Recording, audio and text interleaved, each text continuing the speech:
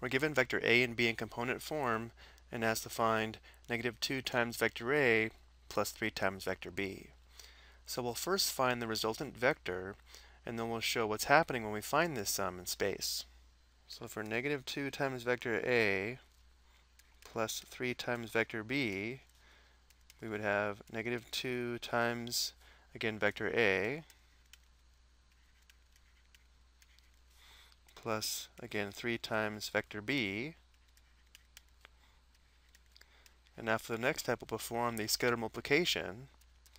So for negative 2 times vector a, we'd have an x component of negative 2 times negative 3, that's 6.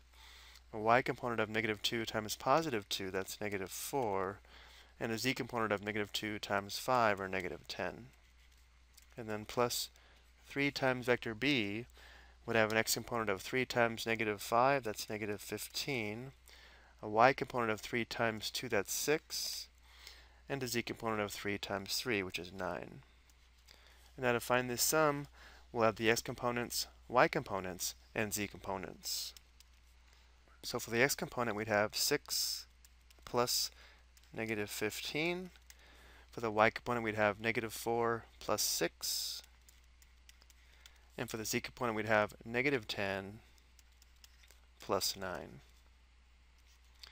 And finally, simplifying, the resultant vector would have an x component of 6 plus negative 15, that's negative 9. The y component would be negative 4 plus 6, or 2. And the z component would be negative 10 plus 9, which is negative 1. Now that we've found the resultant vector, let's explain what's happening in space when we find the sum of these scalar multiples of a and b. So vector a is this blue vector, and vector b is the black vector. So for negative 2 times vector a, we'd have the vector in the opposite direction, twice as long, or having twice the magnitude, which would look like this. So this light green vector is negative 2 times vector a, and then for 3 times vector b, we'd have a vector in the same direction with 3 times the magnitude, which would look like this. Let's go ahead and zoom out here.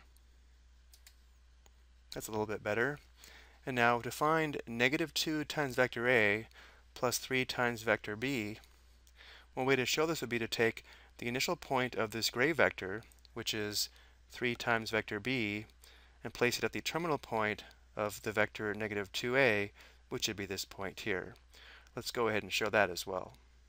So again, here's the vector 3 times vector b with the initial point at the terminal point of the vector negative 2a, and therefore the resultant vector would be the vector with the initial point at the origin and the terminal point at the terminal point of the vector 3 times vector b, which would be this red vector here.